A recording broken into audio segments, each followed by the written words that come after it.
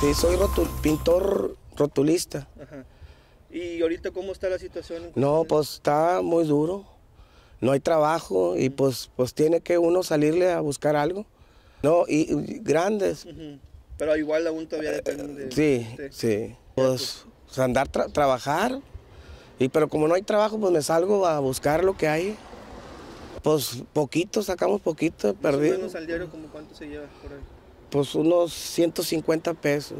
350, 350 el kilo. ¿De qué colonia es usted? De la Roma. De la Roma. Pues pintura en general de casas, barandales, rótulos, dibujos. No, eh, independiente. Independiente. Sí. Pues camino de seis horas, seis horas al día, cinco.